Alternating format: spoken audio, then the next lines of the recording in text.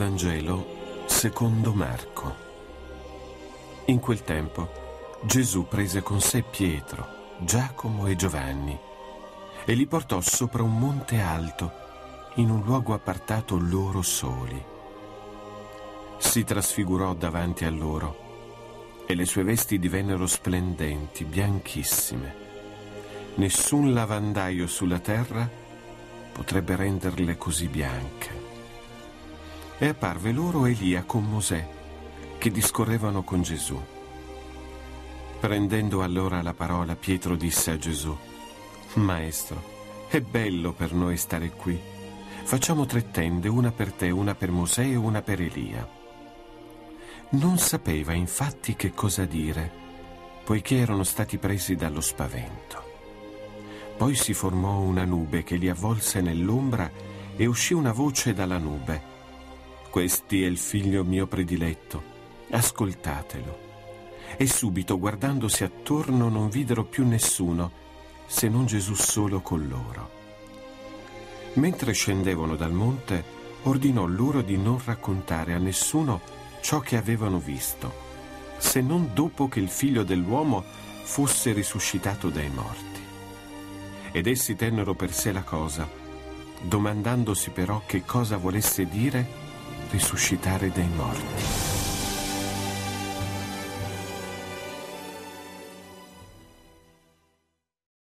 Benvenuti cari amici. In questa seconda domenica di Quaresima la Chiesa ci mette davanti la stupenda pagina della trasfigurazione del Signore.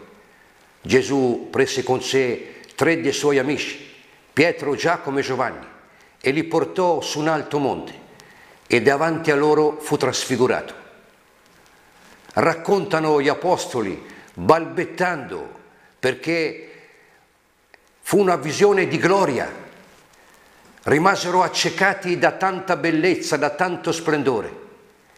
Il suo volto era radioso, le sue vesti erano splendenti, nessun lavandaio sarebbe riuscito a farli diventare così bianche.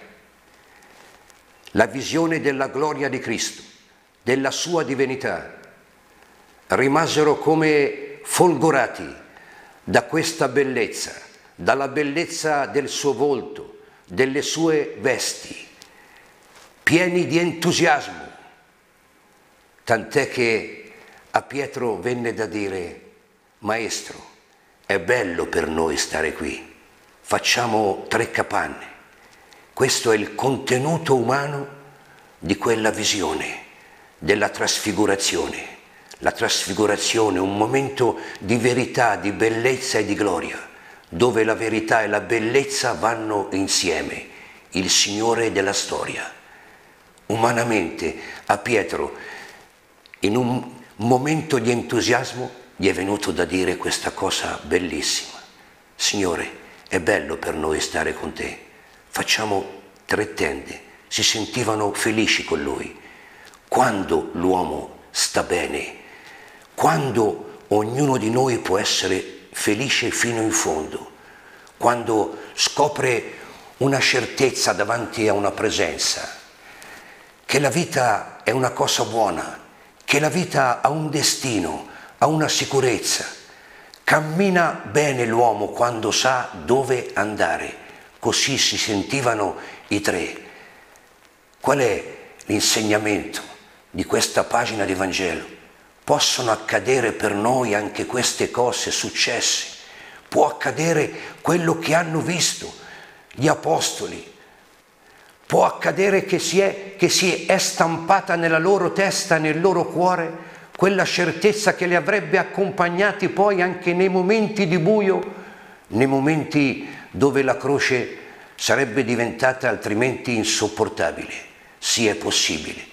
È possibile anche per noi vedere questa bellezza, questa divinità e questo splendore del volto di Cristo.